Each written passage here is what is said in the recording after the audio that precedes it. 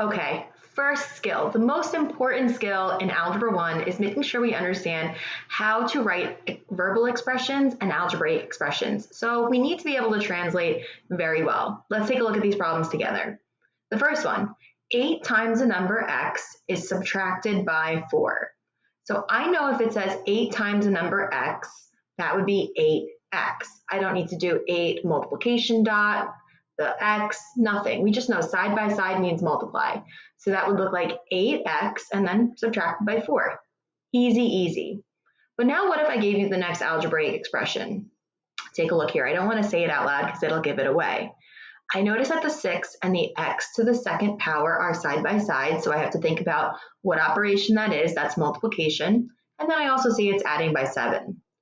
I can say this in so many different ways. I could say 6 times x squared.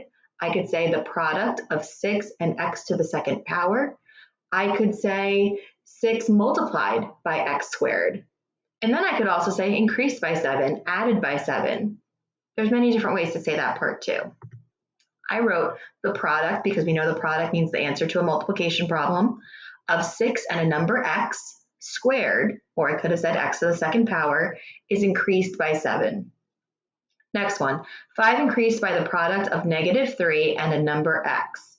So I know 5 increased. Increase means add. We saw that in the previous problem. The product of negative 3 and a number x. So we know product means multiplication. They're side by side, and we don't need a multiplication x or a raised dot. And so I would be able to write it like this, 5 minus 3x. Next one. I see I have the product of 3 and x and 4 and y. One possible way to say this would be 3 times the number x plus 4 times the number y is decreased by 2, or I could have said subtracted by 2. I could have said 3 multiplied by x, added by 4 multiplied by y. All of those would be great options. Next one, 3 times the sum of a number x and 7. Now, notice this one doesn't say 3 times x. It says 3 times the sum of x and 7 together. So if I want to make sure I do 3 times the entire quantity of x and 7, I have to make sure I put parentheses around my entire x plus 7. And I know it's x plus 7 because I see that word sum, and sum means the answer to an addition problem. So my result would look like this. 3 open parentheses, x plus 7, close parentheses. Next one.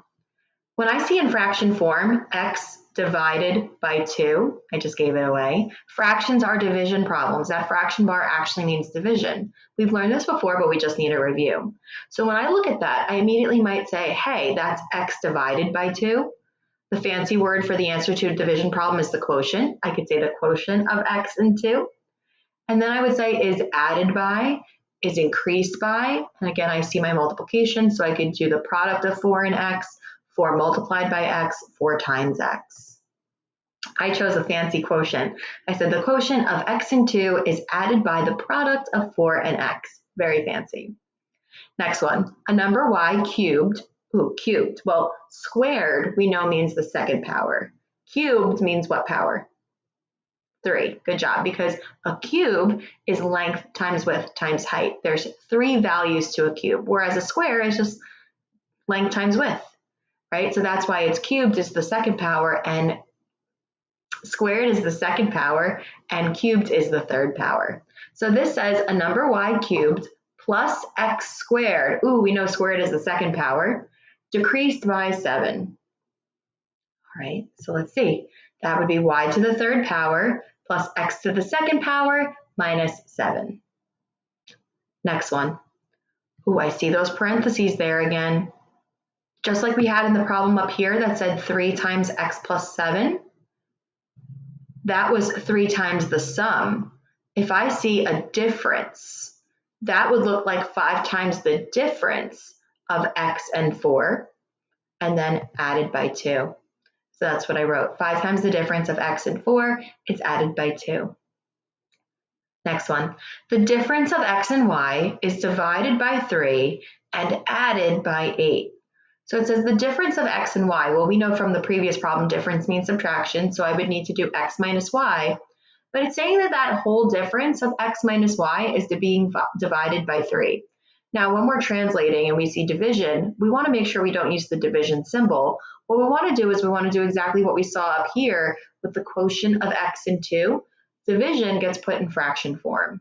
So I'm looking at x minus y over 3, right, divided by 3. My denominator would be 3. And then outside of that part of the expression, added by 8. And the last one, I see another set of parentheses, but that parenthesis is also being raised to the second power.